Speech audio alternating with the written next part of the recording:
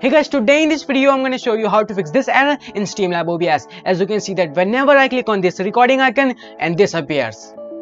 An error occurred with the output, please check your streaming and recording setting. If you get this error in your Streamlabs, so watch the full video till the end. I am Vikas and you're watching VFX Vikas. Before starting this video, like this video and subscribe to my channel. And here in the left bottom, click on the setting icons and go to videos tab and here select the maximum FPS which is 60. After selecting 60, go to output and then here select the output mode advanced.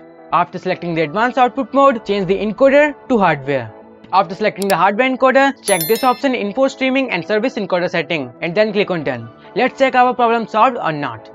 Click on the recording button to check it. As you can see that now I am able to record the screen in my Streamlab OBS. So if you guys like this video, if you like my video, don't forget to subscribe my channel. Thanks for watching and don't forget to hit the bell icon. If you have any query or question, comment me down below.